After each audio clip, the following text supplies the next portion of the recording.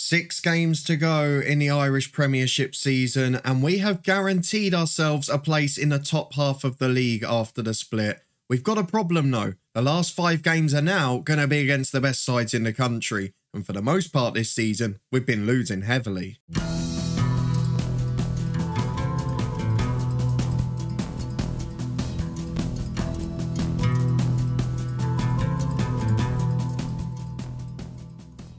Yes, hello, and welcome along to part 50 of this Build a Nation story, Lifting Spirits, with me, Daniel. We bring up the half century in style with Distillery today, as we have secured our first top half finish, but it is likely to only be sixth place. It does mean we will get a crack at the European playoffs again, and we are in the final five games of the season going to be playing all of the top sides back to back. Not generally a recipe for success for us so far this season, but if you're looking forward to seeing if we can change that as we play our final game of the normal season against Dungannon before the split and the first game against the top half sides, then please do put a thumbs up on it. We'll take a look at what's been been happening since you were last here, and thankfully, most of our squad has now had a holiday when we had two weeks off a little while ago. And we're now going to get another ridiculous spell. After those 17 games in two months, we're now going to have two and a half weeks off before the league split commences. But first, we have got to talk about what has been happening here. It's been a very exciting couple of months. It's been, again, a little bit inconsistent, a little bit topsy turvy. And I say inconsistent in terms of results, which is a fair point but we have generally beaten the sides we're expected to beat. So, based on our level of equality in the side, I would say maybe we have been consistent this year.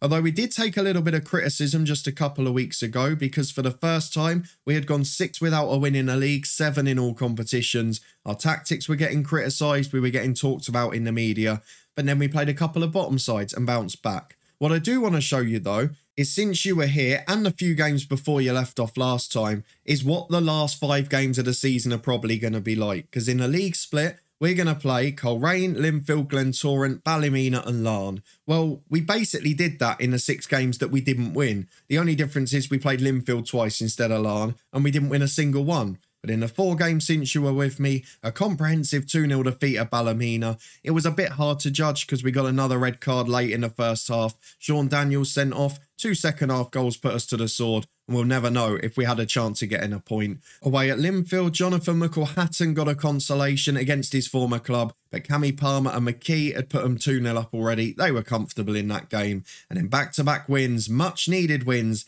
against two of the bottom half sides. Away at Crusaders by three goals to one, McElhatton with a hat trick there. And then at home to Dungannon, he got a brace this time with Killian Heaney adding a late third. Dungannon the opponents again today, back-to-back games, pretty nice way to finish the regular season in truth. So let's go and get straight into that one. We'll go through to the fixtures. There is a lot for us to look forward to. We are seven points clear of Cliftonville, the side we've leapfrogged from last season, but we are seven behind Ballymena, who have got a game in hand. Albeit that game in hand is against Linfield, which they probably won't win. But it does mean that we are cemented as the sixth best side in the league, we're nowhere near that top three. Glentoran are massive underachievers, and Ballymena, they're doing really well. They've still got that money from the Albert Press sale, all of the sell-ons coming with that. So they have invested well, they're improving as a club, and they've had a couple of European qualifiers too. All that money makes a difference. So four professional sides and Ballymena yet to topple, but let's worry about Dungannon today. They're on their way back down. We're going into our first game of the day. Let's go and pick the lineup. We'll be back in a second to run through it. And this is the team we're going for, which I think you would agree is our first choice 11. It has been when everyone's fit this season. We have got the two new signings on the bench from January. Taylor Hart has done really well, to be fair to him. Not managed to pop up with goals or assists, but has made contributions off the bench and was really good in the Intermediate Cup. He played and scored four goals in one game there. We also have Phil Jeffrey there, who's played a couple of games with differing performances. We threw him in against Ballymena away, which was maybe a bit difficult. Everyone was knackered, the squad was poor. He didn't do that well. But then against Dungannon, played really well last time out. So he's got a little bit of a mix, but he's contributing. And for a free loan signing with no wage contribution, he's been a really useful addition. So no complaints about him being here at all. Our 11 for today, as you would expect, Ethan Ross in goal. Dobbin and Bell the fullbacks with Orkin and Williams at centre half. Bell has signalled his intent to leave at the end of his contract, which is just over a year. So we're probably going to have to look at selling him this summer if a good offer comes in. We'll wait and see if that happens or not. Whitehall and Daniels, the midfield duo, they've been really good in recent months. And then Latifa and Scott on the wings, Barry Coffey in the number 10, and Jonathan McElhatton. 25 goals for the season. He is improving magnificently. He's been the best trainer almost every week. And he has scored over one in two, which is all you can ask for at this level. So we've got ourselves some good players. We've got a decent bench compared to normal. Now, can we make it count? Our final game against easier opposition before the end of the season. Let's see if we can get three points and go into the league split in style. And here we go. The final regular game sees three changes for bottom side Dungannon Swifts. Wade and Campbell amongst those coming in. I'm pretty sure Campbell was there back in FM19 when we managed him in the head coach. I'm not sure there's many other familiar names in there other than Josh Robinson at centre half. It's a side that have generally yo-yoed in this save. They've been up and down twice already, I think. So let's see if we can beat them again. Into the first half, we know we're going to finish in the top half anyway. But we'd like to finish in style. I'm a little worried about our confidence moving forward in the season because we are going to struggle for the next five games. So I'd like to keep a little bit of positive energy in the club. And three wins in a row would be the perfect way to do it. Well, it's been a very quiet start here, but with eight minutes on the clock, we have got the ball with Curtis Bell at the back. Orkin finds Daniels and back to Bell again, keeping it nicely. Not really trying to rush it forward, not trying to get on the attack too soon. We're just keeping the ball and making sure that they have to work, they have to run. As Whitehall goes back to Williams and Dobbin. Nice football again into Daniels. Again, patient, the build up is fine, but it's another one of these long key highlights which I hope will lead something good for us. Williams gets it from Dobbin. We're getting pressed now. Orkin can play out from the back. Wide to Bell. Are we finally going to cross the halfway line? I want to get excited about something. Bell gets it again. No, Daniels to Scott. Here we go. Over halfway. Waited for the right ball to McElhatton. Brilliant move. The finish wasn't there, but forced them out. Played really good football. Got them to press us. Then played the counter over the top. It's not worked from a set piece though, as Kim Nelson has headed in for Dungannon. Their first chance of the match is awful defending. We had men there, he still got a free header, and we're 1-0 down against the run of play. Well, back with a quarter of the game gone, and we're not really having a threat. Scannell's got himself in at the other end. It's another shot just wide, but I don't know what's happening to us. It's another one of these weird defensive performances. We do have one every couple of months, but I'd like to fancy us to get back into this. Ballymena are winning, so if we lose this game, there is no chance even at fifth, which was a very outside chance anyway. There's a long ball forward to Curtis Bell. Can we get on the front foot? Because so far, we've looked pretty poor in this one as Daniels gets the ball to Williams. And it is something that becomes a challenge managing in Northern Ireland. You go from this extreme intensity of playing every two or three games, as we mentioned, having real struggles with fitness, to now having players lacking match sharpness because we're not having many games. McElhatton blazes that one over the bar. Not really had any glorious chances yet. But at half time, we are going to be trailing. We've had more shots, but we've not created anything clear. We probably deserve to be behind. So let's go and talk to the lads point a finger, show some desire. We've got a few of them to react, a few of them motivated. Now let's see if they deliver on the pitch. Well, instead of delivering, we've got yet another injury. Lewis Scott, how many times this season has he picked up knocks? Convey will come on for him. It's been, what, five minutes in the second half? There's not been a massive threat yet. I will go attack him when we make subs at the hour mark. But for now, I want to trust these lads. They are creating enough. But McElhatton's missed a couple of half chances and we're not really showing much from set pieces. So I am going to make those changes now. We're going to go attacking. We're going to take off Sean Daniels, who is on a yellow and anxious.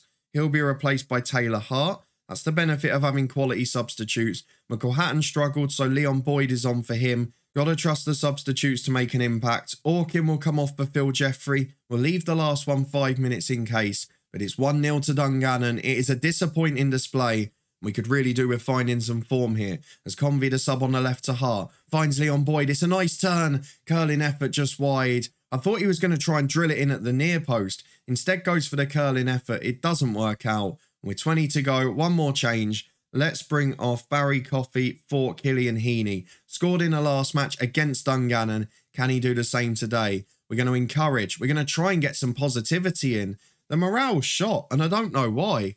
It's been really good the last couple of weeks, and at the moment, it's not delivering anything at all. Let's demand a bit more, see if that reacts better. Not really. as Dobbin's got a throw on the right hand side. Four minutes, save ourselves. Heaney's hit the woodwork. It's off the bar and it's out for a goal kick on the left hand side. It's going to be time wasting. It's going to be slow. And we know we're going to be frustrated here. It is 1 0 to Dungannon. We've been attacking, we've been the dominant force, and we've probably been FM'd in the grand scheme of things. Five shots to 15. We didn't hit a target enough. Our striker wasn't in form. And it is something I do want to say about Hatton. While he has scored a lot of goals this year, they've generally come in twos or threes. And he has had probably, what, 15 games where he's just been awful. So it is a problem somewhat. We do need to have a sub who's better next year. So if he's not in form, we've not just got Leon Boyd coming on and scoring, what, two goals a season. We need better up front. We need a better squad. But for now, it's a disappointing day. Let's go and find out who we've got in the league split. Sixth place is going to be our limit this year. Well, Lewis Scott is out for three to four weeks, and at the moment, that's not actually too bad because we won't play another game now till the start of April. We've got to wait for Linfield to catch up their three games in hand. I'm not sure when they are we have a quick look at the schedule, did they get a results day? They did. So they're still the favourites for the title. They're seven points behind with three games in hand.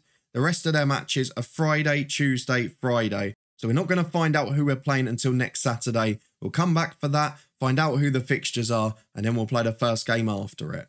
Well, a slight change of plan because we have had our youth intake just three days later, and it is exciting for one player. We have got another centre half as we had last year. And this time it's Connor Kingsbury rather than Connor O'Neill. It's an average intake overall. We've got one decent player after that and a couple with one star ability. But let's be honest, the only one with a chance of making it is this centre half here. Is he going to be good enough? Is he going to have balanced attributes? And most importantly, is he going to have a good personality? Let's find out together. Casual personality. The rest of his game's really good. And it's so frustrating. He's not got the best positioning in the world but he's six foot five. He's great in the air. He's okay at everything else, but that casual personality will hold him back. We've seen it with so many players this year. They just don't improve it quick enough. So Connor Kingsbury, probably a bit of a disappointment. We'll give him a chance anyway if we can. Well, Linfield have finally caught up on their fixtures and the league split has now been confirmed. Linfield have won all three of their games in hand by a goal to nil. It's an incredible effort, really. And we've had some other news in the last week too. Mainly, and a weird one, we had our transfer budget for next summer. Not sure how when they don't know if we're going to be in Europe or not. But it does mean that we're no longer in debt on the wage bill because it's been up to four and a half grand a week, which is what we were paying rather than what we actually had as a budget. In terms of the top half split, though, we have now got five games coming up, and I am desperately hoping that Linfield is one of the home ones because that is our big money maker of the year, and it is indeed as is Glentoran, which is normally the second biggest. And Coleraine, probably of the five teams there, we've got three home games, which is great. And we've probably got the three biggest ones in terms of fan base coming down at home. So that is an excellent effort for us. We'll be back in a moment to face Coleraine, and it is probably our most winnable home one. Well, what a lovely way to return for the league split. We are expected to be defeated at home to possibly the weakest side on paper we're playing of the three. The fitness test suggests that Lewis Scott might make it, but I'll probably leave him on the bench because we're gearing towards those European playoffs now and I don't want to risk missing out on star players for it. Let's go and get through to the team selection. 500 fans in, not a great home crowd to be honest. We've got another suspension for Daniels. He'll be replaced by Taylor Hart. And on the left wing, Convey will come in for Scott. He'll stay on the bench. McGill will come on for Daniels. And that is going to be the team. So the changes from the last game are basically enforced. Convey and Hart in, the suspended Daniels out, and the returning from injury Lewis Scott sitting on the bench. Let's go and get into it. The first of the final five games. Can we cause a shock at home? And can we finally pick up some points against the big boys? Well, here we go against Oran Kearney's side. They've still got quality in attack. McKendry keeps getting player of the week nearly every week in Northern Ireland. Lyndon Kane, I'm pretty sure, scored against us last time. Ryan Johnson's a good player. Shevlin and Allen, a brilliant attacking duo. So let's just go and get through it. Wayne Murphy's on the bench. We had him on loan a couple of years ago, didn't we? Good young right back. Not getting into their team either. So let's go and get into the first half. The smallest crowd we'll play in front of for the rest of this season. But fingers crossed, it won't deter us and we'll be able to get a good result. Though it's not a good sign that after one minute it's a Coleraine free kick, it's going to be a penalty kick. It was off the ball, it was a silly one, and it seems to happen a lot in this league compared to others. Those little pushes and pulls from set pieces, they seem to be given all the time, which they obviously aren't in real life. Shevlin takes the penalty, and with two minutes gone, we have fallen behind to Coleraine, and we have really shot ourselves in the foot. Probably game over at this point. What's worse is that they're now dominating the game as well. There's 15 gone. I'm tempted to drop to cautious. I tried to be a bit more aggressive in this one. I thought maybe it's the home game we can win. Not looking good at the moment. And that's a perfect example. Convey not attacking the ball, waiting for it to come to him. And these proactive top level players, or the top level players in Northern Ireland, I should say, they'll come and attack the ball. They'll come and nick it off you. But that's a long, hopeful ball towards McElhatton. Clearances as far as Convey, who wins his header. Coffey can't get to the second ball, and Coleraine first to it again. Gareth Dean plays out from the back. One of the best goalkeepers at this level. We've got to beat him today, though, if we want to get a result. McKendry on the counter attack finds Allen, has support from Shevlin, the goal scorer, but instead just plays himself through to Shevlin in the end, and it's into the side netting. Coleraine are tearing us apart. I'm going to drop to cautious because we're getting outplayed as Gareth Dean goes long. Good header from Williams. Latifa very narrow there. Is for carrying the ball out wide now, trying to take it down the line. Has two options in support. Can play back instead. Puts a great early cross in. That's a super ball. Chris Latifa with a wonderful cross. McElhatton attacking at the back post. All he had to do then was slide it in the bottom corner. It's 1-1. We definitely don't deserve it. But maybe that's an example of the counter-attacking. Very good individual work from Latifa and McElhatton there to finish as Latifa's on his way again. What a moment he's having. Good cross again. O'Brien gets it away. McDonald finds him. Back to his goalkeeper Dean and it's a big punt downfield from Coleraine. Little dangerous five minutes for them there as Williams gets it to Whitehall and Latifa. Here's Coffey on the right hand side. Loses out. Williams will head it away again. We've got them camped in their own half, but can we take advantage? That's what I want to know in the rest of this half. Do not give away a silly goal. Dobbin picks it up again. Inside to Hart. He's made an impact. It's a good through ball. McElhatton will chase. McConville's there. Cleared as far as Convey. He cuts inside. Finds Hart. Referee trying his best to get in the way. Trying to help the big sides out. Dobbin through to Coffey though. It's a brilliant move. And that is five of our best minutes in a long time. Dobbin with the through ball, Coffey with the finish, 2-1 Distillery. What a turnaround. And we're back almost immediately again as Williams has the ball just inside his own half. Short free kick to Hart. And he's got support in midfield too. Goes back to Williams. We're inviting them on, trying to play those through balls. That is awful from Williams. He atones for his error though. Wins it back for Dobbin. He can carry down the right hand side. Inside to Hart. Having a strong game here. Back to Williams. Don't do anything silly this time. He doesn't. Good turn from Hart. Beats his man. Goes into the opposition half. Whitehall releases Coffey. McElhatton's in the middle. Coffey's brought down. It's a penalty kick. I'm not sure it was. It's one of those animations where it looks like they get the ball, but we're not going to complain. The voice is on the blink. That might be an issue. James Convey steps up. Rare start for him, and he doesn't take advantage from the spot. Should have given it to McElhatton. It stays 2 1. Maybe that's going to be another turning point. And on the stroke of half time, it's worryingly a free kick for Coleraine to the back post towards O'Brien. It's so simple. Where's the marking gone? The man at the back post loses his header, and then McConville's in the middle. Nobody's near him. I mean, we've got four or five spare bodies in there. I don't know what they're doing. And at half time, it's 2 2. The missed penalty is another turning point. It's been a cracking game. We're still on for a point but it could have been so much more. Let's tell the lads they're doing all right because it's better than we expected. And hopefully in the second half we can keep this result. Maybe we can even find a winner. Well, 20 minutes to go. There's not an awful lot happening in this half, so I'm going to make some adjustments. Scott is going to come on for Convey, who missed the penalty. Orkins having a poor game again, so Phil Jeffrey on for him. Curtis Bell struggling too. Might give Shay Lucas a little run out at left back. Hart will come off in midfield for Crow. Whitehall will switch to the playmaker role. And then looking forward, I put Orkin up front. How many times do I make these mistakes? Orkin off, Phil Jeffrey on. Pay attention to your subs. We learnt that the hard way last season. Don't go making the same mistake again. We're back with just over 10 to go as Lyndon Kane puts a teasing ball into the box. It's cleared away by both Dobbin and Scott and it's out to halfway to McConville. Long ball forward is headed away by Jeffrey as Crow gets it down for Coffey. He tries to play wide. That's an awful pass. Jeffrey clears it away, spares his blushes. Latifa gets down the right. Can he produce another magical moment? Goes short to Crow this time. Play simple. Williams goes wide to Dobbin.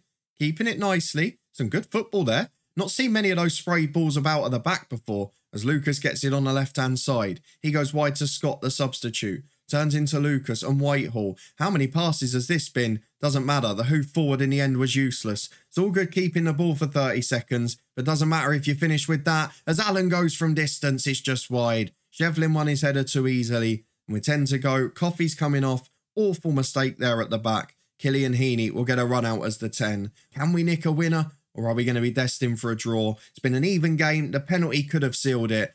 But overall, given what we saw last game, given how we've played against the top sides most of this year, I'll take a point. That's a decent outcome. Starts another little unbeaten run, keeps enough confidence in the camp ahead of the playoffs. So let's just say we're happy to avoid defeat. And now we'll deal with the last four off camera. Well, it's important to note at this point that the Irish Cup finalists have been confirmed, and it's Linfield and Coleraine, two of the top three. What that means is that the playoff will be fourth to seventh, and if we finish in sixth place, we'll play fifth place Ballymena, I believe. That is our next game. We're going to enjoy that, get a bit of a warm up for it. They're the side that beat us in the final last year, and then we will be back. I think we'll just play through the four matches. We will come back for the European playoff. We know we're there. We know who we're probably going to be facing, so let's not make an extra episode. If we end up with a short one next time, we'll combine it with a season review just so it doesn't spoil what the outcome is. But if you did enjoy this episode, disappointment against Dungannon, but a decent effort against Coleraine, then please do put a thumbs up on it. Let me know what you thought of the youth intake star. I was a little bit underwhelmed by him. And do you think we can go one better this year? Or will we fall at the same hurdle again? Because we just don't look good enough against these top sides. If you want to stay up to date and find out though, please do subscribe and turn that notification bell on. Sure to be a big finish to the season as we head into the European playoffs again, but can we go into it in form? I highly doubt it with the games we've got left. We'll be back in a couple of days' time with the answer, but in the meantime, you can find the head coach playlist and loads of other stuff up in the eye above. Please do check out yesterday's head coach. It was a brand new era for that save. And we'll be back here in two days' time for another shot at Europe with Distillery.